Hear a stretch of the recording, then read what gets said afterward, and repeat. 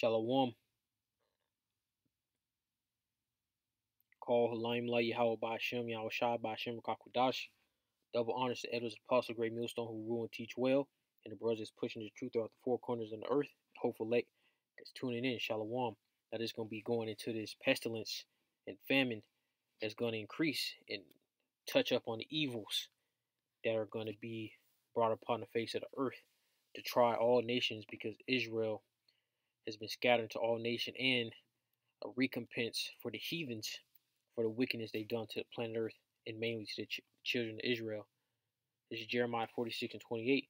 Fear thou not, O Jacob, my servant, saith Yahweh, for I am with thee, for I will make for I will make a full end of all the nations, whether I have driven thee, but I will not make a full end of thee. So you so these nations will be thrown down. They will be beaten into submission. And that will be done by the, the sons of the Most High, which is Yahweh Shai, the, the elect, and the angels on down. You know, just those three, you know, those three different subjects, topics, adjectives, adjectives, right? That I just stated, you know, Yahweh Shai, who is an Israelite, the elected nation of Israel, and the angels will throw down all the nations, pursuant to Daniel chapter, I believe, two, as well. You know, Revelations chapter two, and many, many scriptures that goes into that. But I will not make a full end of thee, but correct thee in measure Yet will I not leave thee wholly unpunished. So, yes, two thirds of the nation Israel will be taken out. And this is also stated again in uh, Jacob's trouble, which is Jeremiah 46 is going into Jacob's trouble. This is Jeremiah 30 and 7. The last for that day is great, so that none is like it. Is even the time of Jacob's trouble, but he shall be saved out of it. And Jacob is a Hebrew is Yaiquab, which means the supplanter. Now, verse 11. For I am with thee, saith Yahweh, to save thee, though I make a full end of all nations, whether I have scattered thee, yet will I not make a full end of thee. But I will correct thee in measure, and will not leave thee altogether unpunished. So it was re- reiterated in um, Isaiah. So um, this is all end time prophecy. Jacob's trouble um, hasn't happened yet, and we're we're approaching Jacob's trouble, and it's gonna be a very disastrous time for the planet Earth. Jeremiah 15. Jeremiah 15 and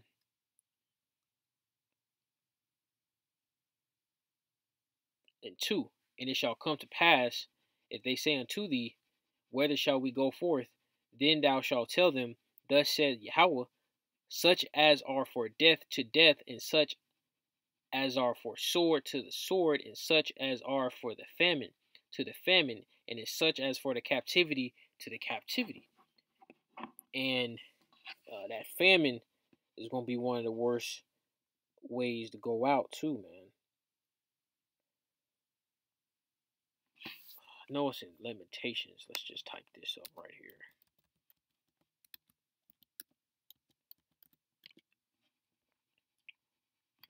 Lamentations 4 9. They that be slain with the sword are better than they that be slain with hunger for these pine away, stricken through for want of the fruits of the field. So it's better to get shot in the stomach and bleed out than to starve to death because your body's literally eating itself, you know? If you get shot to death, it's to take, if you bleeding out, maybe lose consciousness after about three or four hours and you die, you know? So it's really only a couple hours of, of, of pain and then death and starvation is a month plus of pain, man. This uh Jeremiah 15 and 3. And I will appoint over thee four kinds, saith Yahweh, the sword to slay, and that this modern day sword is the, is the gun. And you know, depending on the length of Jacob's trouble, will determine how uh, how many people st- stick to melee weapons. Because Jacob's trouble, it will be a time period. You know, it could be 10 years, it could be seven years, it could be five years, it could be a year, it could be six months. We really don't know. But um, uh, I think it's the CIA or the FBI. They did a report on how um, in order to survive the apocalypse, any type of apocalyptic situation, you would need at least 7,000 rounds of ammo for the first six months. And I think once you do the math, that's 180 days. Let's do the math right now. So, um,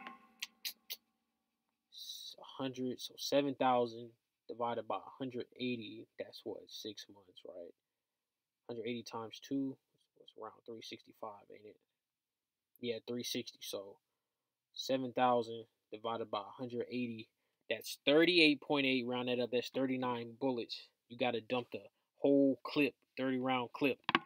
you know, Jake, you know, the rest of these heathens got to dump a whole clip every day for the for six months straight in order to survive the collapse. No, you know that's that's talking more along the lines of um you know these people in the city, you know, because that's where the large group of people will be. You know, in more rural rural areas, uh, they'll stick together a bit more. But you know, raiders, marauders, right? These werewolf preppers, whatever, uh, will will be going grouping up and attacking these cities. You know, typical human stuff, but it's going to be on a, a crazier scale because they're probably going to be on some, some cannibalism and, and, straight torture, like real torture, real gruesome, man. And it's going to be there's going to be a lot of stuff to uh that's to be out here that uh, our minds can't even comprehend right now.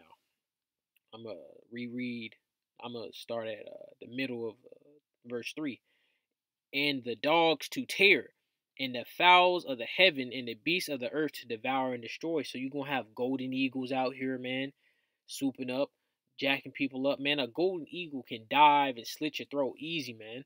Like I seen a video of a golden eagle. They're so smart and intelligent. They grab the goats and drag them off a cliff because they know the goats.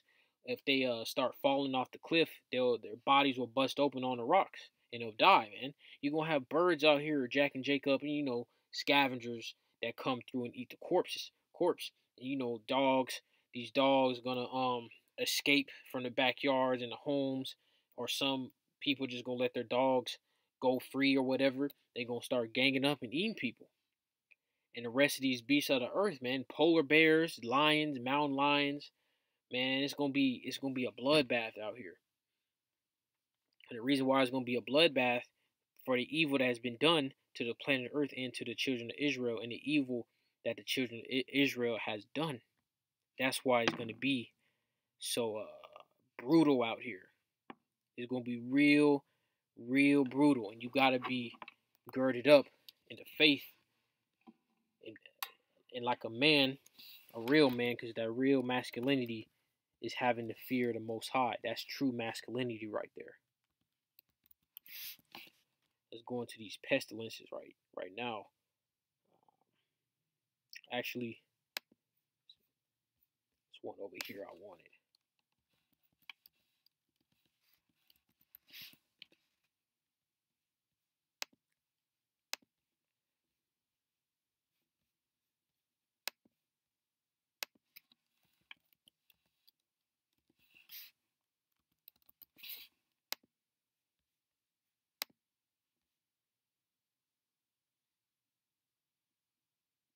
This is second Esdras 15 49. I will send plagues upon thee, widowhood, poverty, famine, sword, and pestilence. And I will waste thy house with destruction and death. And that's going to happen on the largest scale known to man on the um in uh the whole entire earth, but the, the concentration of this will be in Babylon the Great. Because that great deliverance will be um in Babylon the Great.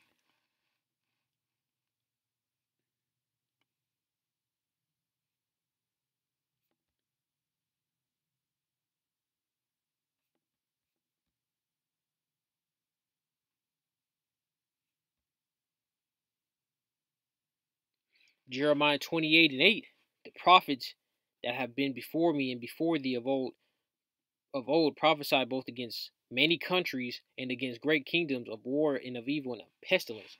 So that's how you can identify the prophets now. They'll be doing what the prophets of old have been doing. The only ones that's doing that, calling on a true name, having a hundred percent truth, is the great millstone on down.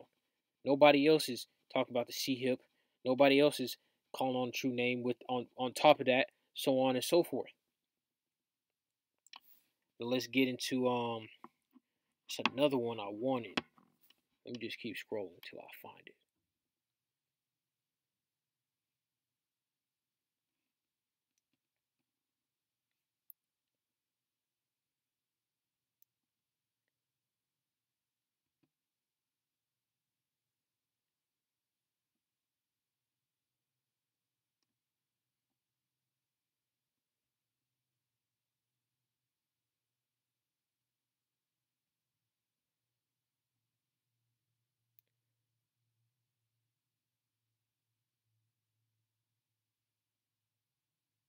All right, perfect. This is Ezekiel 7 and 15.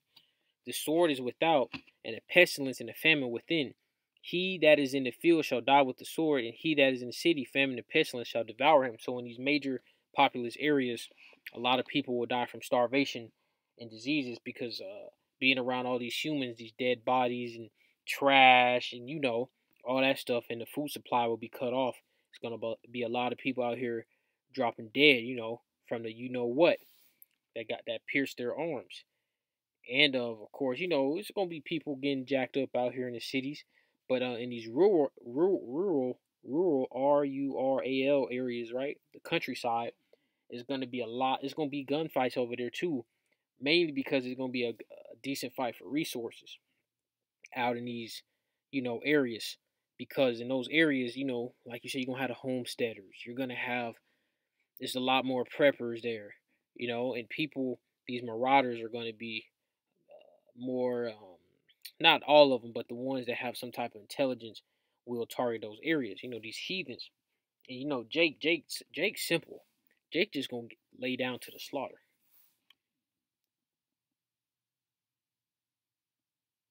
Let's get the scripture on that.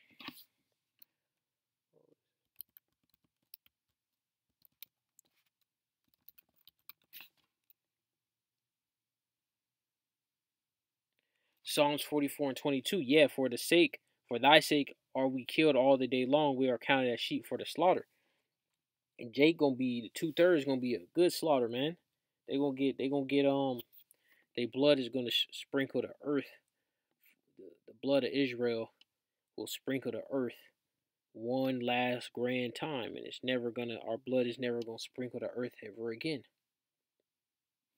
And then this is restated again in Romans 8 and 36, as it is written, For thy sake we are killed all the day long, we are counted as sheep for the slaughter. And you know, I seen this one guy, and it was stated again in Acts 8 32. Um, I seen this one dude, I think it was a brother. It was a brother, it was a it was one of the brothers, the Achium, that was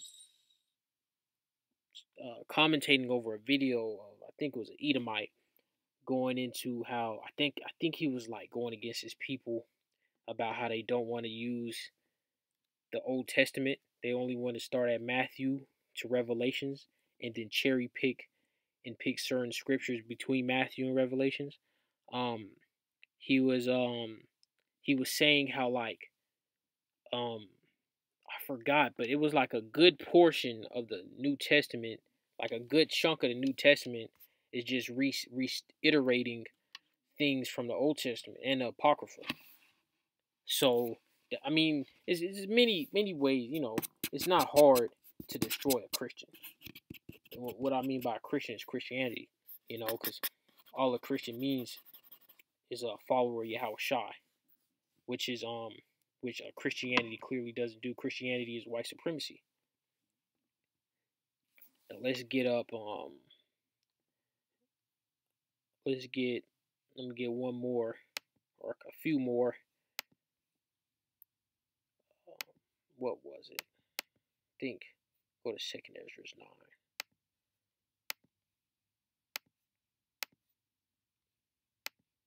second Esdras chapter 9 scroll through a little bit.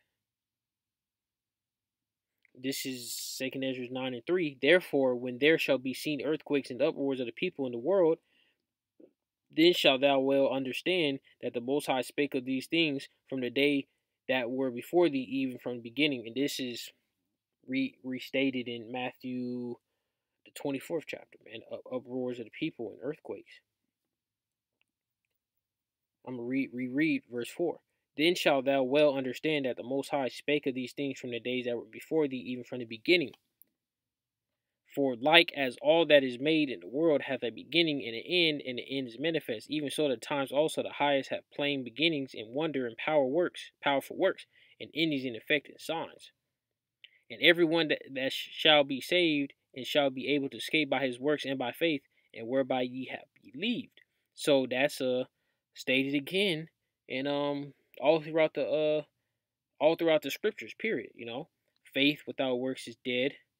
You know, and faith is, you know, pretty much just believing without seeing. So faith, belief, believing, believed, faith, synonyms, works without faith without works, dead.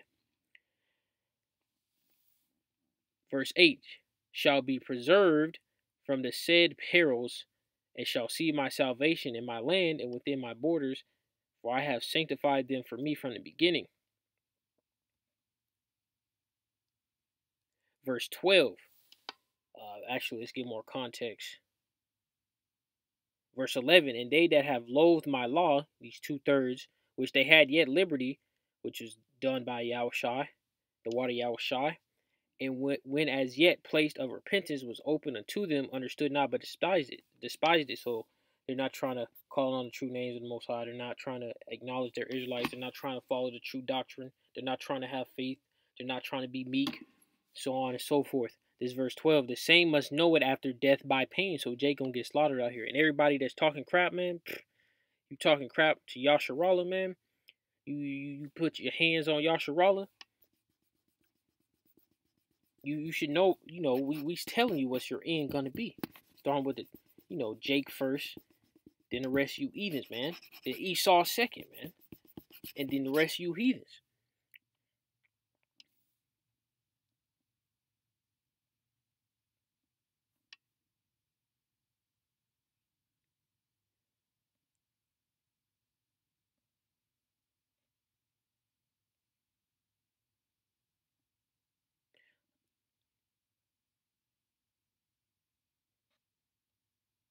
All right. Let's go to chapter 10.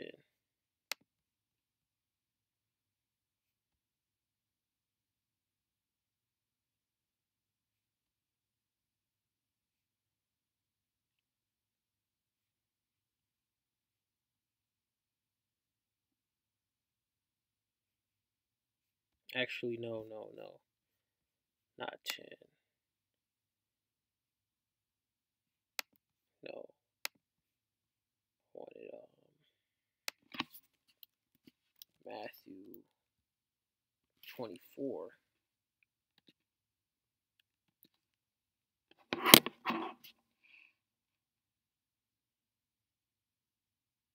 Actually, no. Isaiah 13. And this off in Isaiah 13. Isaiah 13 from the top, verse 1 The burden of Babylon, which Isaiah the son of Amoz did see. Amuz. Amuz. Let's see how you pronounce that, man. Actually, it's, it's all good. Scroll down a little bit.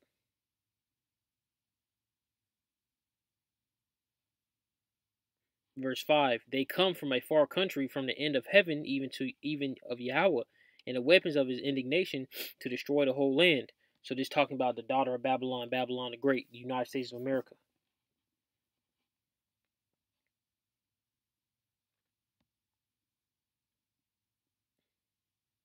This is verse 8. And they shall be afraid. Pains and sorrows shall take hold of them. They shall be in pain as a woman that travaileth. They shall be amazed one at one at another. Their faces shall be as flames.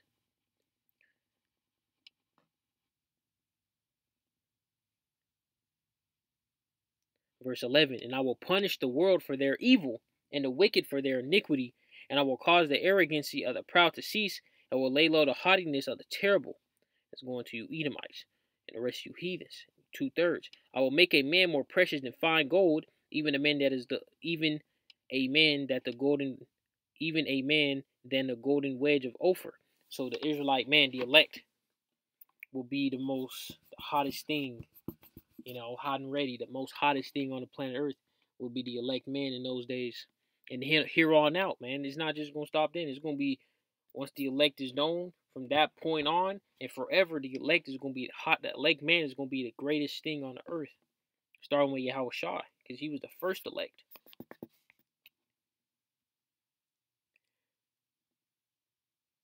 I'm gonna end that off right there. Shalom.